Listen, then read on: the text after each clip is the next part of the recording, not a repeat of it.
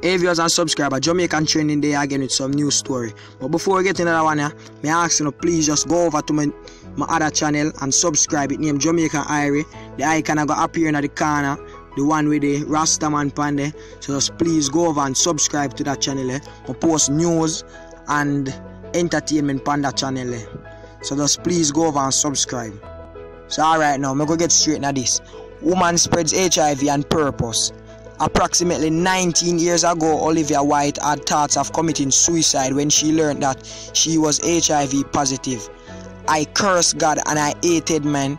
I even secretly blamed my family, although I knew that they had no influence on my status.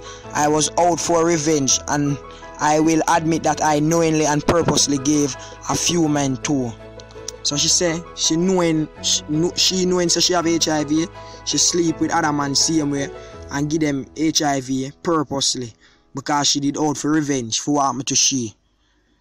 So she was just 21 years old when she found out she had the virus.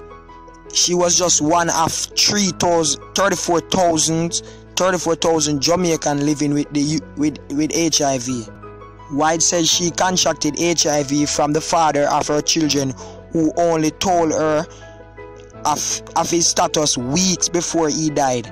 Although she refused to take her medication, White explained that her outward appearance was normal and her skin was flawless. She had man falling at her feet and she wasted no time getting under the covers. So she has say she look normal. I say me I say you can't look on certain people and look, just looking at them face and say yeah them have HIV because she say she look good and everything. Man I kill for there with her and she not waste no time. She just go in a bed with them and have sex with them and give them HIV just like that.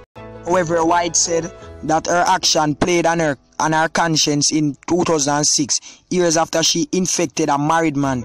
It was then that she decided that she had to stop spreading the virus.